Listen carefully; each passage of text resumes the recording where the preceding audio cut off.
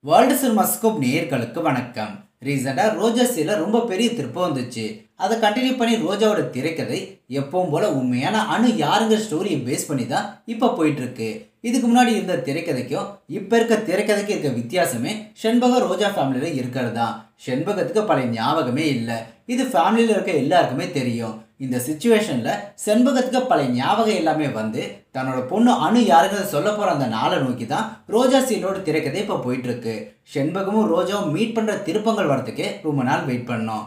இப்போ தான் ரோஜாவும் செண்பகம் ஒரு வழியாக மீட் பண்ணியிருக்காங்க இனி ரோஜா தான் உண்மையான அணுங்கிறத செண்பக தன்னோட வாயால் சொல்ல போகிற அந்த நாளுக்காக இன்னும் ரொம்ப நாள் வெயிட் பண்ண வேண்டி இருக்கும். இந்த சுச்சுவேஷனில் பரிகார பூஜை முடிஞ்சதுமே செண்பகம் ஸ்பாட்டுக்கு வந்ததுக்கு முக்கியமான காரணம் கடவுள் தான் சொல்லிட்டு ஃபேமிலியில் எல்லாருமே நம்புகிறாங்க பட் இப்போதைக்கு ஃபேமிலியில் பிரியாவுக்கு மட்டும்தான் உண்மை தெரியும். இதுக்கு அடுத்ததாக கரெக்டான டைமிங்கில் பரிகார பூஜை முடிஞ்சதுமே செண்பக ஸ்பாட்டுக்கு எப்படி வந்தாங்கன்னு சொல்லிட்டு அர்ஜுன் சாருக்கு டவுட் வந்துருச்சு.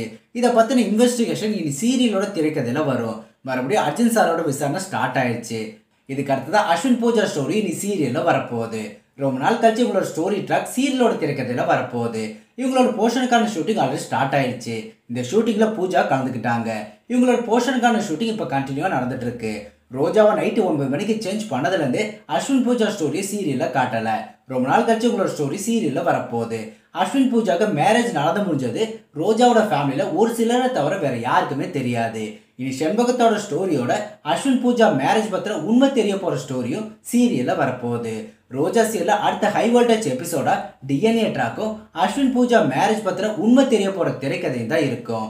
லாஸ்ட்டாக வந்த டிஆர் ரேட்டிங்கில் ரோஜா டென் ப்ளஸ் ரேட்டிங்கோட ரெண்டாவது இடத்துக்கு மறுபடியும் வந்துருச்சு. அடுத்த டிஆர்பியில் முதல் இடத்துக்கு வந்துடும் ஏன்னா செண்பக ரோஜா மீட் பண்ணுற எபிசோட் ரீசெண்டாக தான் டெலிகாஸ்ட் ஆச்சு. அதுக்கான ரேட்டிங் கம்மிங் தேர்ஸ்டே ரிலீஸ் ஆகிடும் இந்த மாதிரி ரோஜாவுக்கு மறுபடியும் அதிகமாக டிஆர் ரேட்டிங் கிடைக்கும். முதல் இடத்தை பிடிச்சிரும். இதை கண்டினியூ பண்ணி இனி சுவாரஸ்யமான ஸ்டோரி ரோஜா சீரோட திரைக்கதையில் இருக்கும். பட் இப்போதைக்கு ரோஜாவோட ப்ரெக்னன்சி ஸ்டோரி சீரியலில் வராது. அர்ஜுன் சாரோட இன்வெஸ்டிகேஷனும் செண்பகத்தை பேஸ் பண்ணி வரப்போகிற ஸ்டோரியும் தான் சீரியலில் ஹைலைட்டாக இருக்கும். கூடவே அஸ்வின் பூஜா ஸ்டோரி சீரியலில் வரப்போகுது.